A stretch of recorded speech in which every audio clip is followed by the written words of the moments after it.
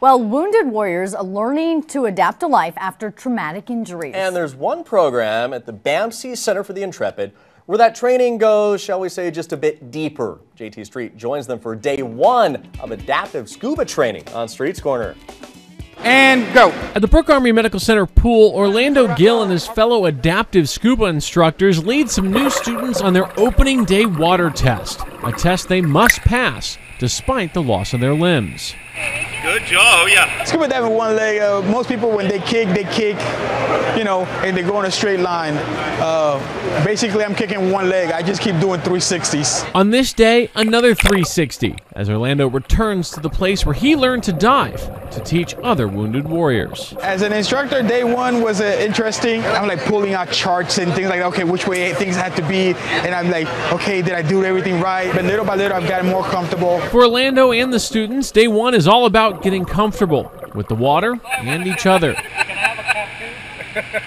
I have a swim leg?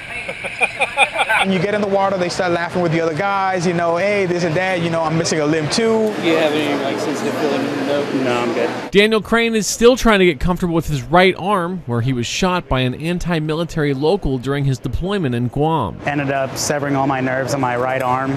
Uh, severed my brachial artery, almost bled out that night. After two years of trying to restore feeling to his right hand, Daniel decided to have it amputated. A month later, he's scuba diving. That's what I do.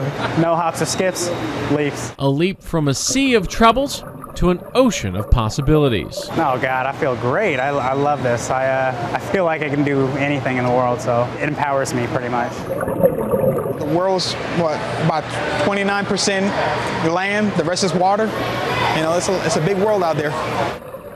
Now, it's a world Daniel and the rest of the students will get to explore as part of their training. First, with their open water dive at the Meadows Center at Texas State, and then once they graduate, an ocean dive off the Florida coast.